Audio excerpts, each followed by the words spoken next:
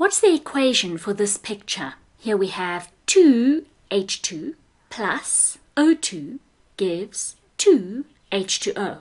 This big 2 tells us that there are two molecules, and then we have H2 telling us what each molecule is like. So in each of these two molecules, there are H atoms, two of them bonded together, 2H2. Here we only have one molecule, so we could say 1 O2, but we leave the 1 off. So we just say O2. In each molecule, well, there is only one, there are two oxygen atoms bonded together, O2. Here we have two molecules, and each molecule has two H atoms bonded to one O atom. That's why we write H2, two H atoms. O, we could write O1, H2O1. We simply write H2O, leaving off the 1. There are two H2Os, so it's 2 H2O. So the whole equation is 2H2 plus O2 gives 2H2O. This is a balanced equation. What does that mean? It means that nothing gets created or destroyed in the process.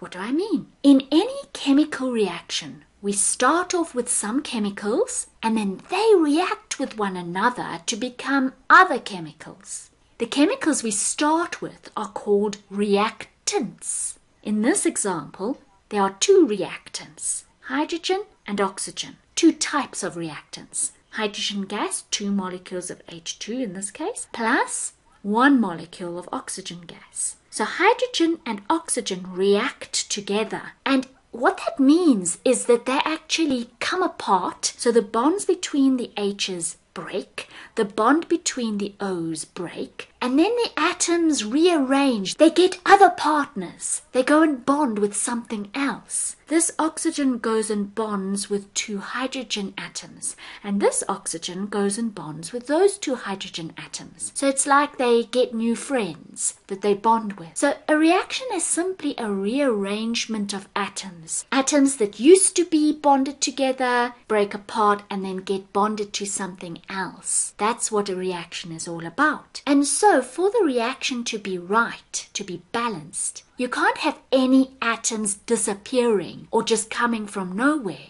That would be impossible. All the atoms you had in the beginning amongst the reactants must still be there at the end of the reaction amongst the products. So let's check if that is really true here. We could say that hydrogen atom ended up there. That hydrogen atom ended up there that hydrogen atom over there and that one over there. So you can see every hydrogen atom that was there at the beginning of the reaction in the reactants is accounted for at the end of the reaction in the products. It hasn't disappeared. What about the oxygen atoms? That oxygen atom ended up there after the reaction and that one there. Every oxygen atom we had at the start of the reaction in the reactants is still there at the end of the reaction amongst the products. So no matter has been created or destroyed in this process. The equation is balanced. Let's show this in another way.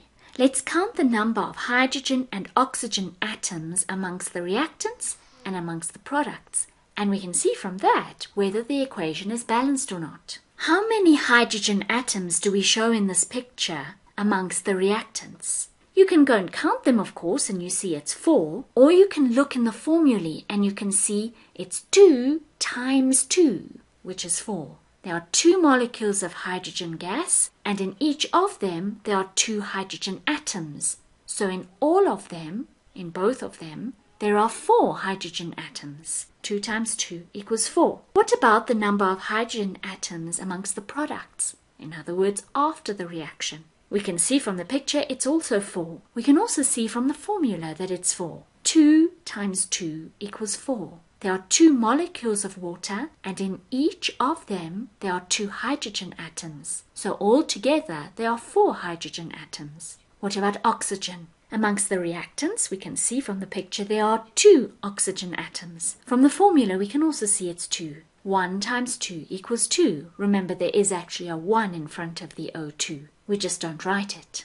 How about the number of oxygen atoms after the reaction amongst the products? From the picture we see it's 2. From the formula we can also see that.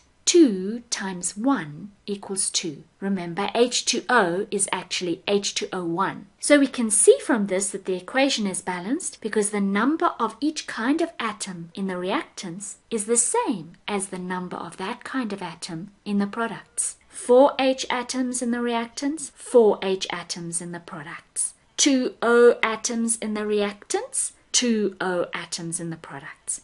Matter has not been created or destroyed. The atoms that were there before the reaction are still there after the reaction, just rearranged with different partners now.